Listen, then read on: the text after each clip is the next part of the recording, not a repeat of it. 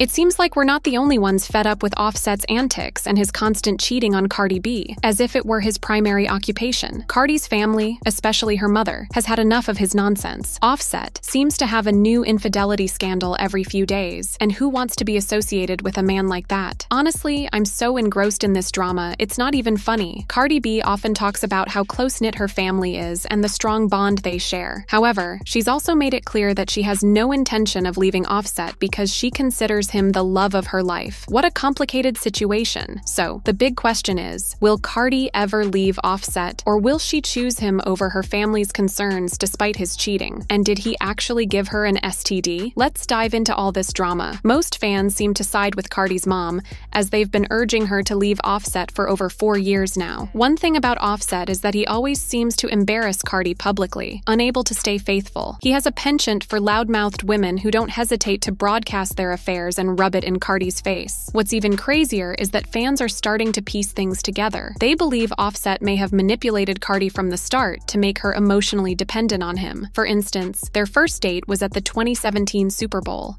where Offset secured them the best seats. And for those who think his cheating started after they got married, think again. He's been unfaithful long before they tied the knot. Remember how he proposed to her in October 2017 during a concert in Philadelphia? Sure, the proposal seemed sweet, but insiders suggest the real reason Offset popped the question was because he had cheated on Cardi just weeks prior. Proposing was his way of apologizing, knowing how much she wanted to be married. It was a grand gesture to win her back. The proposal was the most public aspect of their relationship up to that point, and Offset wanted to make a big splash. He claimed it was all about being romantic, but some sources say he did it publicly to ensure she couldn't say no. Quite the sneaky move. So, what did Cardi's mom think about this proposal, knowing her daughter was marrying a cheater? Well, she wasn't exactly thrilled about it. She expressed her concerns to Cardi, but by then, Cardi and Offset had already had a quick secret wedding. There wasn't much anyone could do at that point, it seems Cardi herself wasn't uh, entirely confident about the marriage as she kept it hidden until TMZ leaked their marriage certificate. She was furious when the news broke. Cardi likely knew Offset would cheat again, and unfortunately, she was right. Marriage seemed to give him even more confidence to stray, earning him the nickname Off to Cheat instead of Offset. Reports say Cardi's mom was uncomfortable with how her daughter stood by him despite everything. However, not long after giving birth to their daughter, Culture, in 2018, Cardi announced she was leaving Offset. She didn't mention anything about Offset cheating on her, but it was instantly clear that he had been unfaithful once more. Unsurprisingly, one of his mistresses came forward to admit she had been having an affair with him. When Cardi discovered the truth, she was devastated and decided to file for divorce on the spot and end their relationship. Instead of admitting his mistakes or taking responsibility, Offset attempted to shift the blame onto Cardi's fans, claiming they were the reason she decided to divorce him. Meanwhile, his mistress feigned ignorance about the seriousness of their marriage, which is hard to believe. Cardi B appears to be in a really tough situation right now. Rumors are circulating that her record label is planning to drop her because she's not generating enough revenue. It's been about seven years since Cardi released her debut album, and the label is reportedly fed up with investing in her without seeing any returns. This is not looking good for Cardi, as fans are now mocking her for being a flop. And we all know Cardi doesn't take criticism well. So, is Cardi really going broke? Will she ever release another album? Let's dive into this drama. It might explain why Cardi has been lashing out at fans recently. She's been arguing with them left and right, even bringing up one fan's deceased father because she didn't like what was said about her and Offset. And it's not just her label putting pressure on her. Her fans have also been criticizing her for not releasing a second album after more than seven years. Cardi B keeps promising to release her new album every year, but here we are, seven years later, and still no album. Despite promising to drop it this year, the year is more than halfway over, and we haven't heard a peep from her. Just last week, she announced another delay, claiming that summer releases aren't successful. A fan tweeted, The album is definitely not coming in the summer. An autumn or winter release has much less chance of getting viral hits and will earn fewer streams. Plus, after six years of waiting, it deserves a good release date. Cardi responded, Please tell me which albums have done well this summer since you think you know everything. Fans thought she was taking a jab at Megan Thee Stallion, but Cardi denied it, saying, Shady what? It's the truth. Albums aren't performing as well in the summer as in other seasons. There's so much music traffic with thousands of songs songs releasing, and it's hard to get placement for more than two weeks. It's statistics. Use your brain. Not everything is messy and shady. Joe Budden then criticized Cardi, calling her a flop and a one hit wonder. Big Rob on Friday. That. That's going to be crazy, but that's what Cardi's about to be now. Just a uh, single artist. You're not getting none of that shit. Man, eh, eh, eh, you was right too. About what? About Atlantic that wasn't the last time Cardi found herself in hot water. She also had a run in with influencer Paradise Paris, who criticized Cardi for her inability to handle feedback. I don't understand why I keep getting her by this man. You want to interview or something? You want to hear my album so bad? If you want to hear my album so bad, you could pull up to my studio session. You could pull up. But I'm really sick and tired of you keeping my name in my my name in your mouth and then you acting like you acting like you you keeping it there because you really want a project from me. No you want to tear my project down like you tear down every of my single like you you tear down my single you tear down my personal life you tear down everything i do. So it's not coming from a genuine place. It's not coming from a genuine place so you need to stop that. Leave me the f- alone bro. Leave me alone. What is it that you want from me?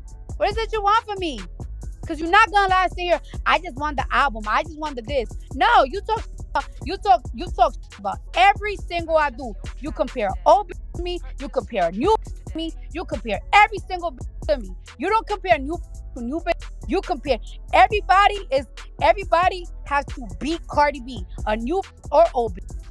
But it's Cardi B, Cardi B, Cardi B, Cardi B, Cardi B. If I suck so much to you, if I'm such a lazy artist, why the f- my name? Why the f- Belcalis is coming in your mouth? Belcalis, Belcalis, Belcalis, Belcalis, Belcalis, Belcalis.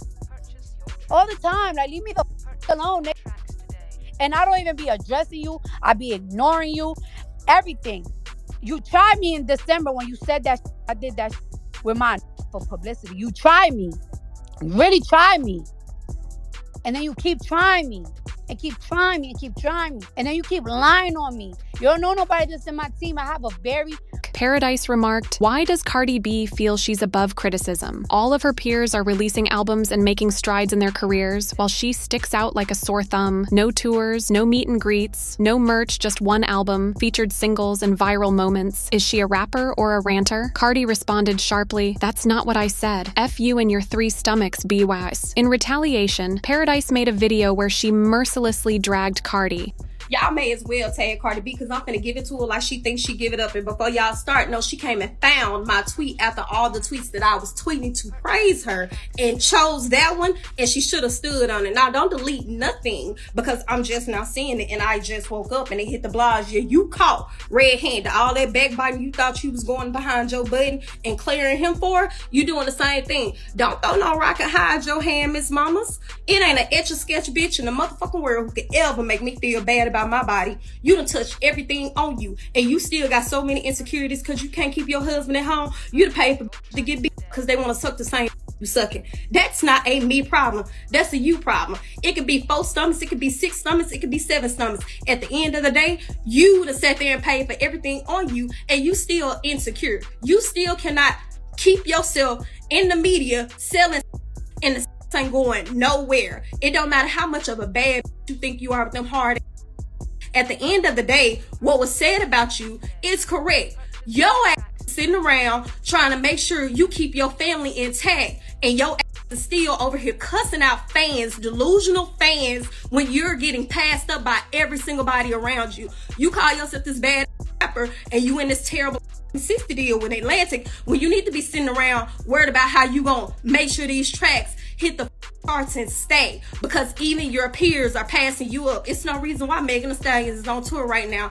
came out behind you, and you done did a number one album, and yo can't even put out a actual single that stays on the charts longer than two weeks. So yeah, what I said was correct. And if it hit a nerve, that's two mother maybe you need to get in the booth and maybe you need to figure out how to get some records that are actually going to stay on the charts and stop cussing out these fans who are kids that like you, acting like you so for your fans and y'all in a good relationship when you act real homophobic. When you sat there and told them boys he was a he was a sissy. You got bigger fish to fry, and it ain't me. So the next time you feel like you want to come for me, first of all, you better stand on what you said.